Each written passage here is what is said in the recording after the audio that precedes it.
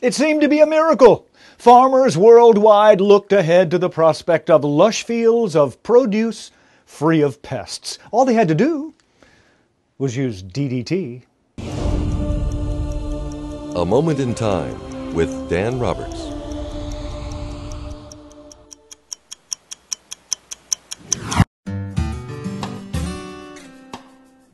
In the years following the Civil War, the United States government, through the newly created Department of Agriculture, began to aggressively promote industrialized agriculture. It was an amazing success. Techniques developed at land grant colleges and applied by county extension agents brought a whole new level of technology to the ancient practice of food cultivation. Increased efficiency and mechanization made the American farmer the envy of the world per capita output soared and farm population began to shrink, thus freeing workers for growing urban industrial enterprises. Yet by the early decades of the 20th century, problems began to arise as per acre production growth began to diminish.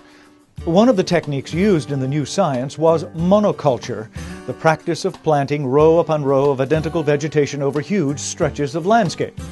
Insects, however, loved monoculture. These pests, which along with uncooperative weather were the ancient enemies of the hard-working farmer, had a field day. It was banquet time. Something had to be done to control infestation. Plant-derived and metallic insecticides, such as pyrethrum, lead arsenic, and copper sulfate had been tried but did not work well. Then in 1939, Swiss chemist Paul Mueller discovered the insecticidal properties of dichlorodiphenyl trichloroethane, DDT. The combination of chlorine, alcohol, and sulfuric acid was described as early as 1874 as a war poison. Mueller's discovery helped crop production soar, but in 1948, the year he won the Nobel Prize, the USDA observed the first DDT resistant insects. Next time Silent Spring at the University of Richmond. I'm Dan Roberts.